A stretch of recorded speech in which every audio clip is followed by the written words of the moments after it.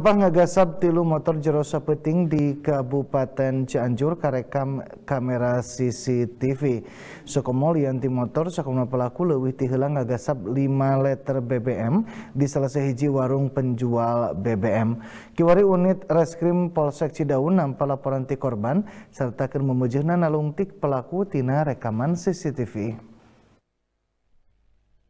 Nyakawas gitu pelaku tiluan anu keur memejehna ngalakonan laku lampahna ngagasab motor salah seorang warga nung karekam CCTV poe Rebo Janari anu pernahna di Kampung Karang Pawitan Desa Pawitan Kecamatan Cidaun Kabupaten Cianjur.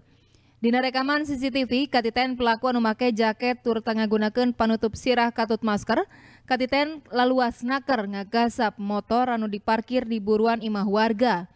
Samamehna eta pelaku teh ngagasab 5 liter BBM di selesai warung anu dagang BBM eceran.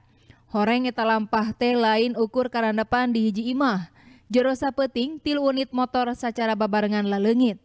Cik salah seorang korban eta kejadian katohian nalika dirina boga karep make motor tapi taya di buruan imah.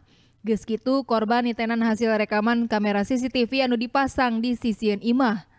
Liantik itu nalika natanyakeun ngeunaan motor nanu leungit, horeng tatangga di sabuderen korban G ngarandapan hal anu sarua.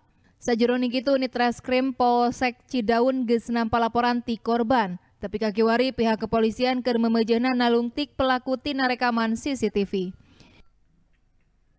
Bahwa kita sudah menerima laporan ya dari warga masyarakat yang sudah melaporkan perkaranya dua orang tentang terjadinya kasus pencurian kendaraan bermotor roda dua. Ya. Nah, untuk penyelidikannya kita akan nanti kerjasama dengan Polres Cianjur karena ini eh, terekam ya oleh CCTV. Heri Setiawan, Bandung TV.